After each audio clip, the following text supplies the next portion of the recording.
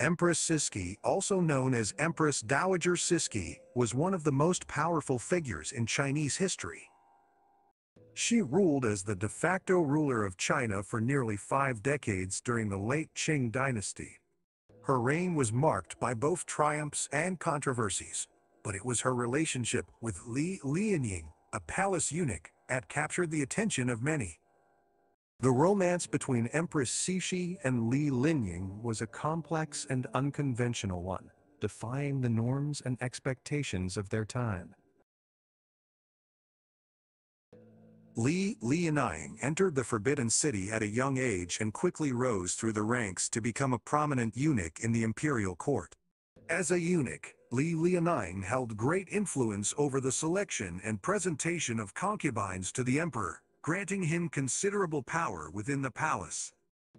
It was during this time that he caught the attention of Empress Cixi, who was impressed by his intelligence and efficiency.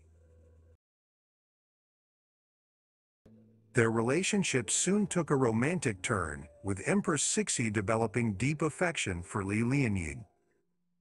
Despite the vast power imbalance between them, the Empress and the eunuch formed a strong emotional bond that endured throughout their lives.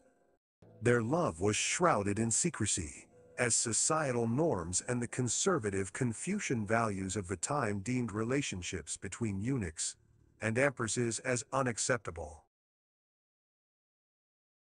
Although their romantic relationship remained hidden from the public eye, Empress Cixi openly displayed favoritism towards Li Lianying, much to the resentment of other palace officials and members of the imperial court.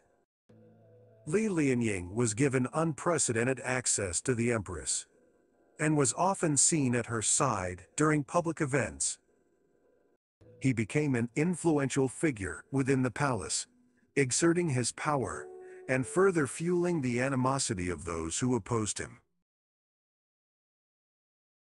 Empress Cixi's reliance on Li Lianying led to accusations of corruption and the perception that he held an excessive amount of power. This fueled rumors and speculation among the Chinese population, further tarnishing their already controversial relationship. Despite the criticisms they faced, Empress Cixi and Li Lianying remained inseparable, proving the depths of their love for one another. The romance between Emperor Cixi and Li Lianying faced its greatest challenge with the decline of the Qing dynasty and the political upheaval that followed. Despite their efforts to save the empire, China was engulfed in internal strife and foreign invasions. Empress Cixi and Li Lianying were forced to navigate treacherous waters as their love story became entwined with the fate of a crumbling dynasty. As China underwent a period of rapid transformation, Empress Cixi and Li Lianying's love story came to an end. Empress Cixi passed away in 1908, followed by Li Lianying in 1911. Their unconventional romance, often overshadowed by the controversies surrounding their rule, left a lasting imprint on Chinese history.